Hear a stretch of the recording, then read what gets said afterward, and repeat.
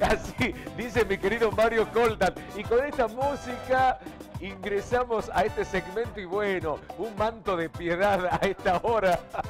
Más aún al comenzar a hablar de este tema, como dice Mario, tan engorroso, tan complicado. A veces nos metemos en un berenjenal, pero él es el especialista. En el economista de Estamos con Rubén. Mi querido Mario Coltan, ¿cómo estás? Economía de bolsillo. ¡Ay, Dios! Agarremos los bolsillos y los pantalones. Vos sabés que muchos camarógrafos están diciendo, ¿por qué? ¿Por qué? ¿Qué pasó? No compré los dólares. Ay, Dios. Vamos a tratar de ponerle una sonrisa. La verdad que la mañana viene bárbaro, el programa está espectacular. Pero bueno, no son buenas las noticias este, en materia económica.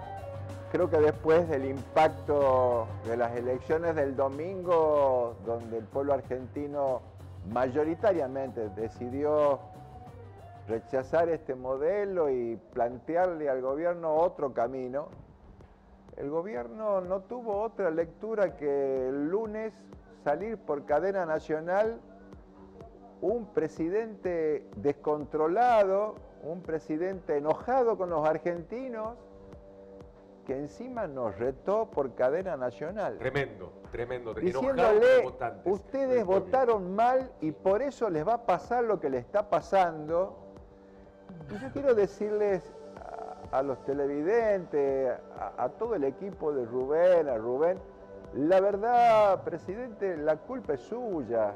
Eh, habíamos compartido en la columna hace poco tiempo con Rubén de que teníamos una situación de atraso en el valor del dólar, habíamos hecho un calco de cuánto podía ser el valor real del dólar, bueno, es el valor que tiene hoy, esto no es fruto de la casualidad, esto no es una situación que es culpa suya, mía, de Rubén, de los chicos.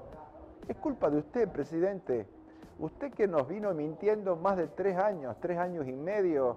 Esta es la foto de la realidad, esta es la verdad. Y la verdad es que el pueblo argentino mayoritariamente le pidió que cambie de rumbo y si no cambia de rumbo, bueno, en octubre tomaremos la decisión que tengamos que tomar y el pueblo sabe elegir, se puede equivocar como cualquier persona, como cualquier sociedad, pero no banca más esta situación. Por lo tanto, creo que lo que nos está pasando a todos los argentinos, a los tucumanos, que lo estamos sintiendo en nuestro bolsillo, es que se blanqueó la realidad, se puso negro sobre blanco, esta es la foto, esto es lo que usted nos hizo creer de que pasaba y que después no sucedió, y los platos rotos los pagamos nosotros. Hoy no hay precios de referencia, hoy el Centro de Panaderos de la República Argentina planteó de que no hay acceso a la harina, no hay precio para los comestibles, hay una remarcación entre el 15 y el 20% en los supermercados.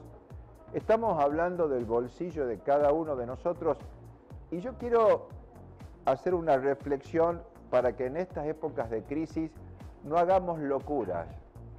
Ayer leía de que uno de los eh, datos sobresalientes es que la gente en esta desesperación de la inflación, del ajuste de precios, salió a comprar televisores tucumanos queridos conciudadanos, hoy la preocupación no es el televisor, hoy la preocupación no es un artículo, tiene que ser lo imprescindible, lo necesario, harina, sal, alimentos, las cosas imprescindibles para nuestros hijos, para la casa, porque vienen épocas muy complejas y no quiero ser alarmista, al contrario, quiero poner un, un manto de tranquilidad, de serenidad.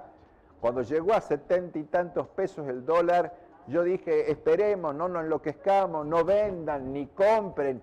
Tiene que encontrar esto un amesetamiento. Bueno, el dólar bajó a 58. No se enloquezcan con sacar la plata de los bancos, no se enloquezcan con correr a comprar dólares. No paguen lo que no vale.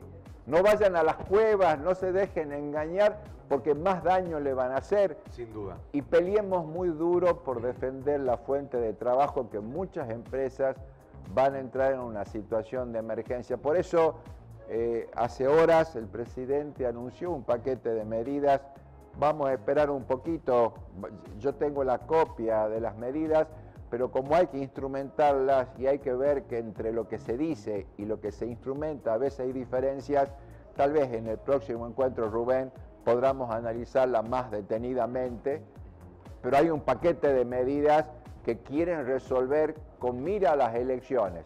Después de tres años y medio quieren reaccionar para dar vuelta a un proceso electoral.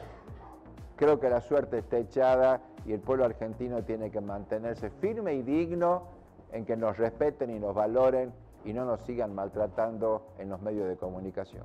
Fundamentalmente lo que decías en un momento, mi querido Mario, ¿no? Llevar tranquilidad a, los argentinos, ¿no? no enloquecernos, porque lo estamos viendo en los bancos, lo estamos viendo a través de las noticias y cuando ingresamos a un supermercado, ese abastecimiento desmedido de producto, diciendo qué va a pasar mañana, comienzo a comprar esto, comienzo a adquirir lo otro y entramos en esa locura, ¿no? Que no nos va a llegar, no nos va a llevar a buen puerto.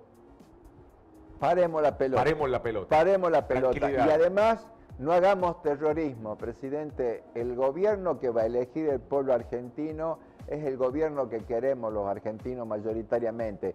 Y puede haber problemas, pueden cometerse errores, pero lo que el pueblo argentino quiere es que el rumbo de este país tenga otra dirección y respetemos la soberanía de la sociedad somos adultos, somos responsables, podemos equivocarnos, pero nos hacemos cargo. Así como lo aguantamos a usted casi cuatro años, estamos dispuestos a cambiar de monta y poder encaminarnos en otra dirección, pensando en que tenemos y nos merecemos futuro y esperanza y que nadie nos robe la sonrisa ni la alegría. Que es en definitiva lo que todos queremos, sin duda. Te vamos a esperar para la próxima semana entonces. Así analizamos el, paquete de medidas. Este paquete de medidas. ¿ah? Así es. Bueno, un gusto. Resto, resto de semana. Y sigan con toda la onda. tranquilidad, nos quedamos con esta palabra, tranquilidad. ¿ah? Tranquilidad. A bajar los decibeles. Todo va a tender a encontrar una suerte de equilibrio.